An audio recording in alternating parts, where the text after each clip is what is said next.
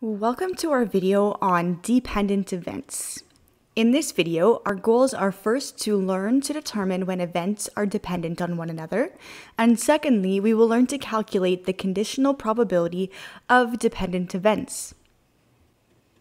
If the probability of one event depends on the probability of another event, these events are called dependent events. Now, if event B depends on event A occurring, then the probability that both events occur will be shown using the following equation. So this reads as the probability of A and B is equal to the probability of A multiplied by this conditional probability of event B given that event A has occurred. That was all a really big mouthful. Let's try to break this down a little bit further. Let's say that we are selecting two tickets for winners out of some number of tickets that have been sold as a fundraiser. Now, when I select this first ticket to determine the first winner, I'll call this event A. If I do not replace that first ticket back into the bin before I choose the second ticket, I have altered the probability of event B. So in this case, I have decreased the total number of outcomes, which actually increases the probability of winning in event B. Event B is what we describe as being that dependent event. And when I calculate the probability of it, that is conditional probability. Alrighty, let's throw some numbers in there and take a look at our first example. So it reads Valeria draws a card from a well shuffled standard deck of 52 playing cards. We're probably becoming quite familiar with the deck of cards by now.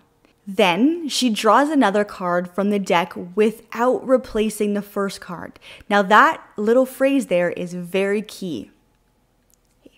Part A wants to know whether or not these events are dependent or independent. And then part B would like us to determine the probability that both cards are diamonds. Let's tackle the first part, A.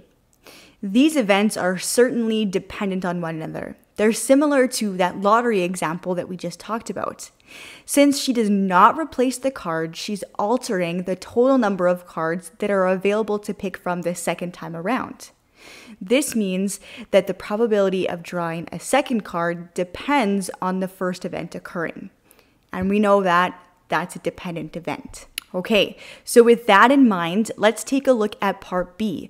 Determine the probability that both cards are diamonds. In other words, we would like to know the probability that a diamond is pulled and a second diamond is pulled. So we'll describe those as being our two events. Recall that when we see that word and, we need to be able to multiply. And we'll see that as we pull up our equation. So recall that our equation is the probability of event A and B, that's what we're looking for, is equal to the probability of A multiplied by that conditional probability of event B. Let's start by calculating the event of probability A, pulling a diamond from an original deck. So we know there are four suits and that one of those suits is diamonds. There are 13 diamonds out of a total 52 cards. So that means that the probability of pulling a diamond in the first event is 13 out of 52. Now let's take a look at event B. This is the one that's dependent on event A. So when we calculate its conditional probability, we've got to consider what's happened in the first event. Now, we want to pull a second diamond in event B. Now, because we're assuming that we already selected a diamond in the first event, that means that there are only 12 diamonds to choose from in the second event, and we've also decreased the number of total cards to choose from, which is 51.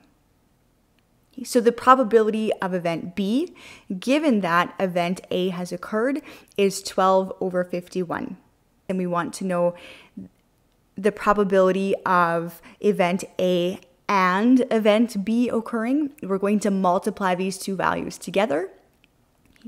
When we do that and then simplify, we end up with 1 over 17. So there's a 1 in 17 chance that both cards that are selected are diamonds.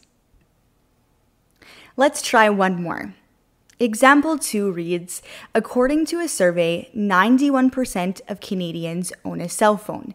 Now, of those people, or of those 91% of Canadians who own a cell phone, 42% of them have a smartphone. It says determine to the nearest percent the probability that any Canadian you met during the month in which the survey was collected would have a smartphone. Now, I don't know about you, but I think that there are many more folks who have uh, smartphones these days, but we'll continue on with the data that's given to us. Let's start by analyzing what we know and what we need to find out and how we're going to tackle solving this problem. We're definitely going to look for keywords, those are always helpful. So, in the first line, it tells us that 91% of Canadians have a cell phone. So, let's call that the first event. I'm going to label it as the probability of C is 0.91. Next, it says, of these people, now that's a key phrase, 42% have a smartphone. Now, this means that given that a person has a cell phone, so they've fallen in that 91% of Canadians that have a cell phone, then the probability of them having a smartphone is 42%. So this is a conditional probability. We're going to label this as the probability of S or the probability of a smartphone given that they have a cell phone is 0.42. So, what is this question asking us to find? It would like to know the probability of any Canadian you meet having a smartphone. So we have to read between the lines here. This means that they have a cell phone and that it's a smartphone. So we are looking to calculate the probability of C and S. Okay? So we can pull up our equation that will help us determine the probability of C and S. And then we can fill in what we know. So we know that the probability of having a cell phone is 0.91 and that that conditional probability is 0.42. So when I multiply those together, I get 0.3822. And so we could round that up to being 38% of Canadians um, would have a smartphone. Let's wrap up by doing a quick little summary. In this video, we determined that if the probability of one event depends on the probability of another event, then we describe those events as being dependent. By looking for key phrases, we can better analyze the situations in which dependent events are involved, and that will help us use our new equation to solve problems.